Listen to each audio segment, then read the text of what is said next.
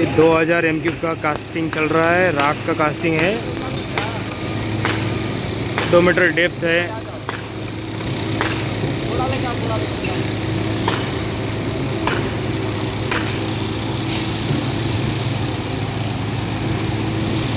तीन RMC pump लगे हैं। एक ये वाला है पाइपलाइन कंक्रीट पाइपलाइन इसके बाद ये है। थर्ड ये यहाँ पे राफ्ट का वाटर रूफिंग चल रहा है।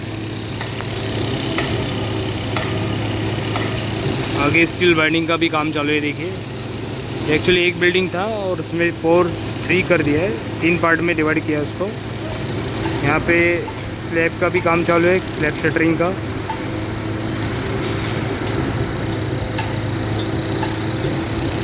देखिए, इसमें टावर कैन है।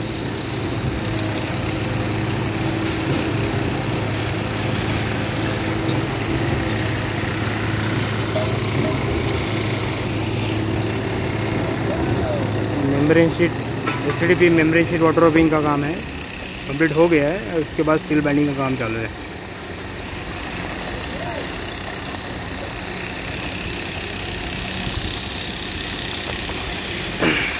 तीन दिन का टारगेट है।